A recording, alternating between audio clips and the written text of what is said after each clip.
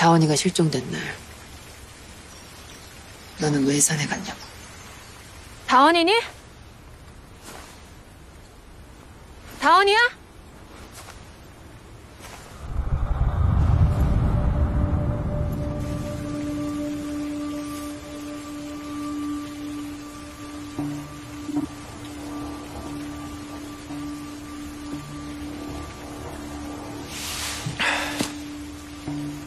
그럴 일이 있었어.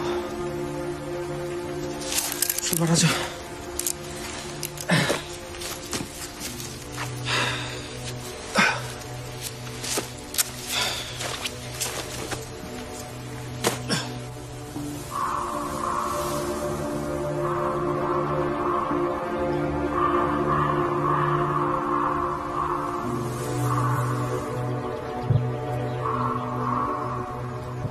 너희에게 얘기하지 못한 한 가지. 현조. 만약 정말 내가 죽는다면 나도 현조를 만날 수 있지 않을까?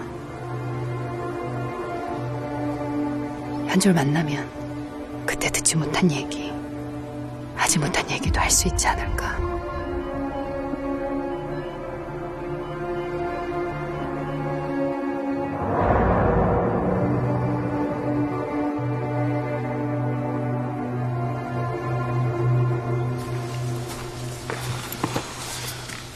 여기서 잠깐 쉬자.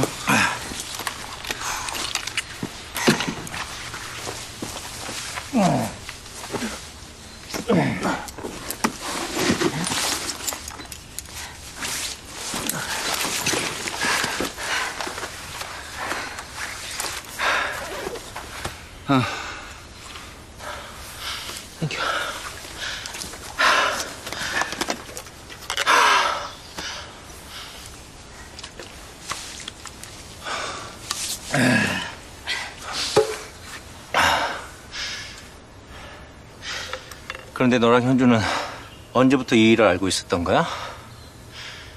계속 그냥 둘이서 조사를 했었던 거야?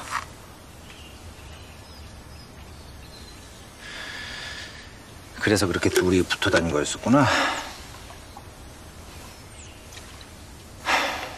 설산 사고가 나기 전에 현주가 너한테 뭐라도 털어놓은 건 없었어?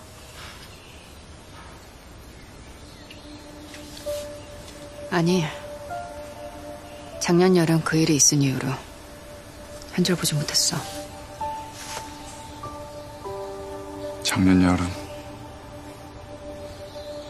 아픈 일 많았지.